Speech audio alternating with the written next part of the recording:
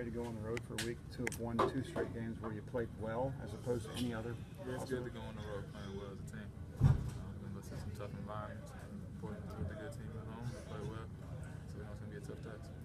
When you go on the road for a long trip like that, do you dwell more on the last few games and the way you played there? Is there anything to be learned from the last time you guys went on the road when it was a mess, quite frankly? Nah, man, we just, you know, we got to be a lot better on the road. We got to be a better road team. Um, stick together more, be a tighter group on the road we are.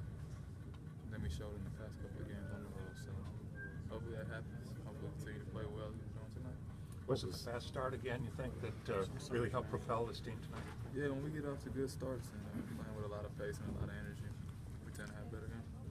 What was the uh, the secret, so to speak, of extending the perimeter defense? tonight? Because they you got that was a season low opponent field goal percentage.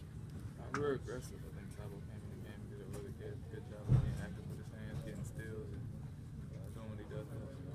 Jeff, can you talk a little bit about playing today? Martin Luther King Jr. holiday, kind of a tradition here at the Hawks. What does it kind of grown to mean to you as you do it year after year? It's always special, you know, playing here in Atlanta where it's born and raised and had an opportunity, you know, to be here for seven years and learn about him and going to the Civil Rights Museum and going to the museum with his home and his church.